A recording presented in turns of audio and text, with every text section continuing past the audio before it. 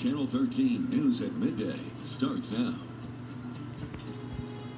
Thanks for joining us on Channel 13 live at midday. I'm Anjali Patel. We're going to start things off with a live look outside. Already a nice, sunny, and warm day out there with temperatures already reaching 80 here in Las Vegas. And we're expecting them to climb to the 90s later on today. But the heat is not hanging around for too long. We're going to check in with Justin Bruce now thanks a lot. There's a chance that as we head from about 80 right now.